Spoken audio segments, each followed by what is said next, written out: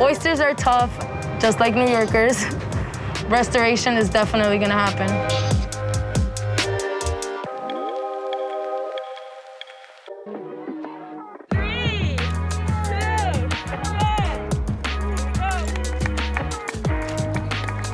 The Billion Oyster Project is a nonprofit organization. Our mission is to restore oyster reefs to New York's harbor. It's called the Billion Oyster Project because the goal is to reach a billion oysters in the New York Harbor by 2035. New York Harbor used to be totally full of oysters. You know, a billion oysters is a tiny drop in the bucket compared to what used to be here. 50% of the world's oysters were coming out of New York Harbor. When you think of New York City, we don't necessarily think of it as a coastal city. You know, we see the skyscrapers, the busy streets, Times Square, but we don't necessarily associate it with water. We're not installing the oysters for consumption. We're putting them in the water for educational purposes and also the benefits of the ecosystem. Oysters provide three essential ecosystem benefits. Oyster reefs act as a home or even just a breeding ground for fish. So when you have more reefs, it increases the biodiversity. We have crab. We have a big crab. So you can see that bluish color on him, like a robin's egg. The second ecosystem benefit is that they filter water. So one oyster can filter about a gallon of water in one hour. They take in water that's suspended in the water column.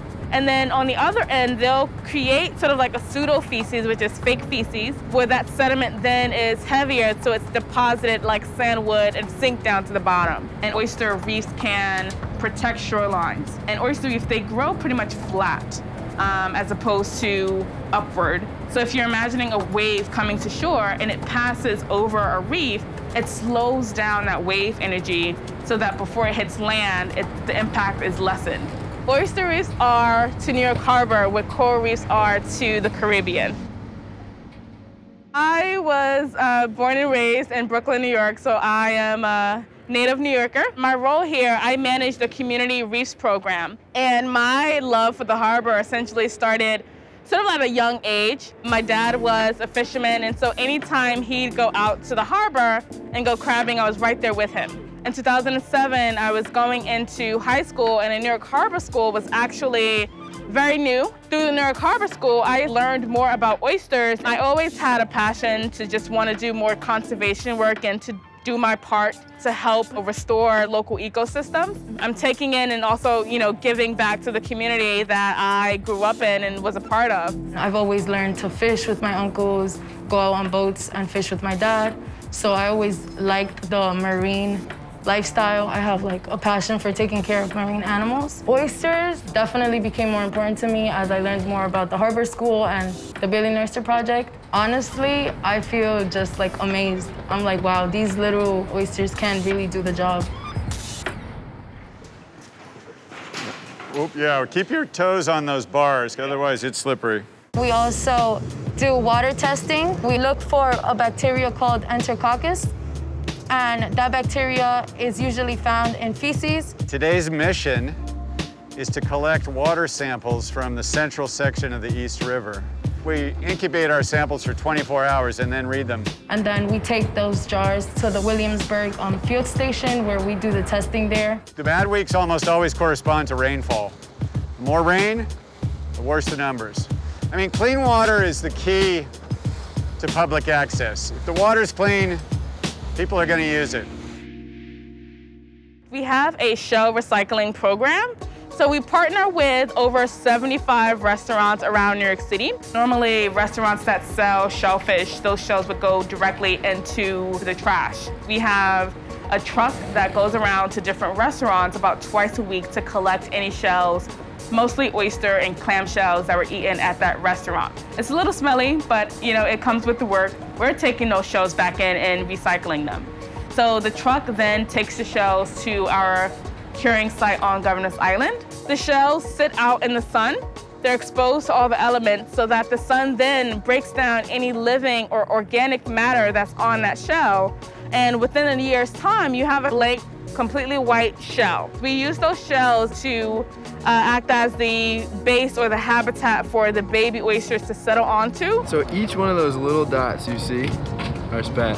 So those are all little baby oysters there. At the same time, we're uh, conditioning adult oysters in our hatchery. So we'll take local adult oysters that are ready to spawn. So we'll simulate the natural conditions in which oysters will spawn in the wild.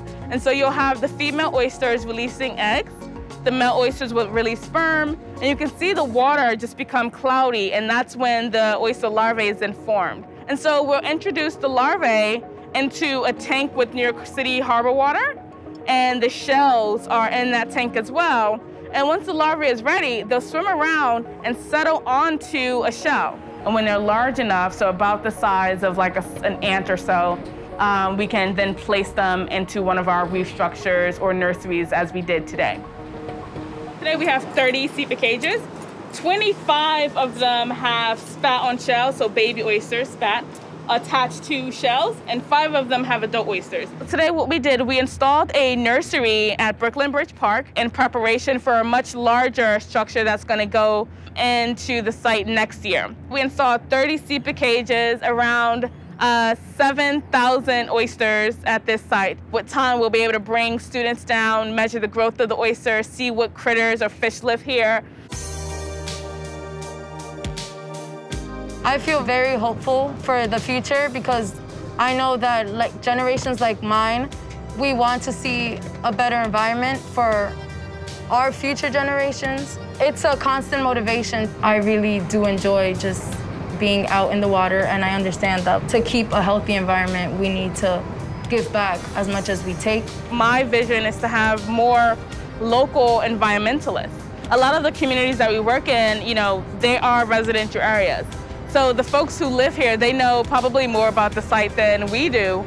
And so it's, it's great to see community members and students uh, participating and engaging in something that's super local. Because we don't want folks who don't live here making decisions about our homes, right?